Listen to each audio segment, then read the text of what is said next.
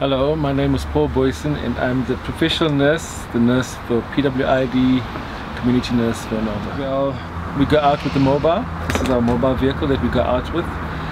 We work with a team of plus minus eight guys that we go out with and uh, we find PWIDs, PWU, these people who inject drugs, people who use drugs.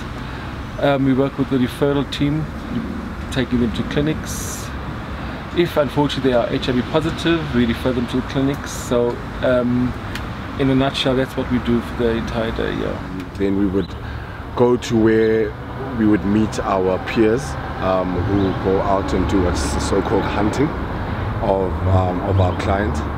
Uh, we pick them up and then we go to a certain site that we've chosen for the day and um, we would park our mobile unit in a place where not everybody can see what's happening or hear what's happening inside for with every consultation that our clients go through. Our peer educators who are hunters of our clients would go out um, in twos, normally male and female, um, just so that you can be able to get a bigger reach of um, of clients. Sometimes female clients aren't as comfortable speaking to male clients and um, vice versa.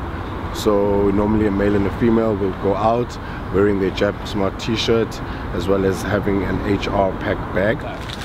So we have what we call harm reduction packs. The packs consist of new sterile needles, it consists of sterile water,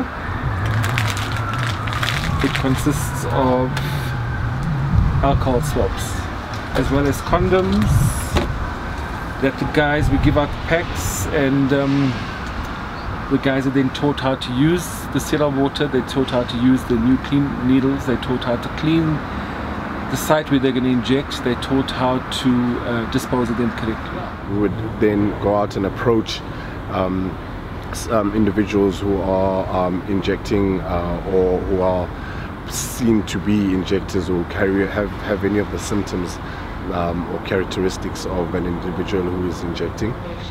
And uh, testing them in HIV counseling and testing. We do the HIV counseling and testing and then we just distribute the, the, the harm reduction packs. My role when going out with the team is uh, making sure that I take clients whom the, the guys on the field have seen to the clinic. Sadly, a lot of the guys are HIV positive. If we tend an estimate, if we test an estimation of about 15 clients a day, more than 10 of them are positive. But um, that's through sharing of needles, that's through uh, there's 10 of them sharing one needle, that's through um, them not having the correct education. When I say correct injecting properly, that's uh, them um, having unprotected sex, you know, not having condoms during intercourse, etc. So unfortunately, yes, it's quite high. Um, the issue that we have at the moment is just for them still to identify the mobile, because remember we're a new project, we started on the 1st of June. So we still have a lot of sites that we have to get to.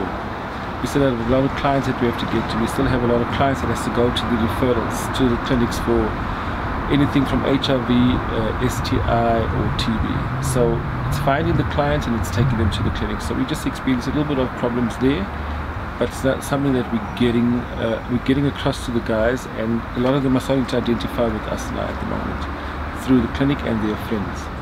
At the moment, we're still in Region F. Um, the whole of Region F, it's quite a big region. So we're looking at Bez Valley, um, Town, we're looking at Hillbrow, Yeoville, we're looking at Mayfair. So we got most of Region F at the moment.